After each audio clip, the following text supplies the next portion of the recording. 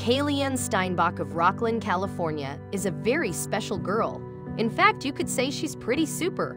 She's independent, she knows what she likes, and she's not afraid to show it. She also doesn't let anything stand in her way. The three-year-old proved just that on school picture day when she decided on the perfect outfit to wear. Little did her parents know, a school picture makes a big impact. Austin Steinbach wasn't offended when Kayleigh refused the three outfits he picked for to wear on the day of school pictures. I've always wanted her to be as independent as possible, he explained. Kayleigh decided to pick her own attire, and it just so happened to be a Supergirl costume. Don't worry though, she had the perfect accessory for the outfit too. She walked up, looked over each of her choices, turned and said, Pooter Girl. Austin Steinbach recalled, according to Huffington Post, and well, I couldn't argue with that answer. So sitting proudly with her pooterman, as Kayleigh calls him, the child smiled brightly. With Superman as her sidekick and the two donning their matching outfits, Kayleigh looked simply adorable. When her parents got the school picture, they loved how it showed off Kayleigh's unique love for superheroes and proudly posted it online for their family and friends.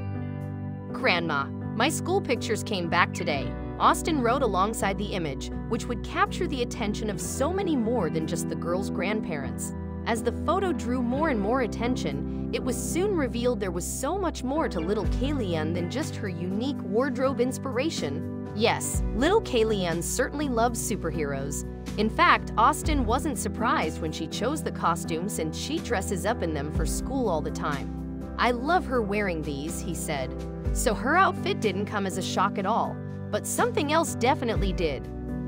Her parents were surprised that the three-year-old's fashion choice went viral as her picture was shared all over the country.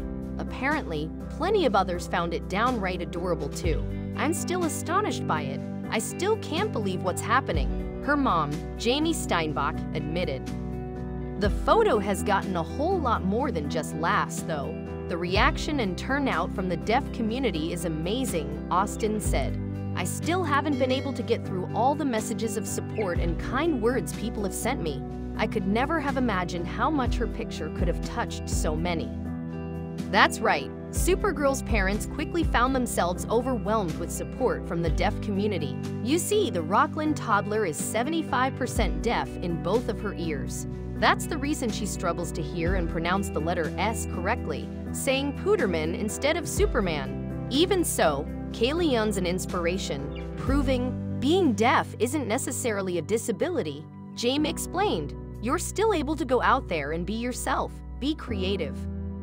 Indeed, the outfit is just a reflection of the superhero that brave little Kayleigh actually is. Faced with what others would deem an unfair challenge, Kayleigh still proudly displays confidence and her individuality, proving that a so-called disability can be all about perception. She certainly isn't letting her struggles keep her down. Perhaps we could all learn a little something from this Supergirl.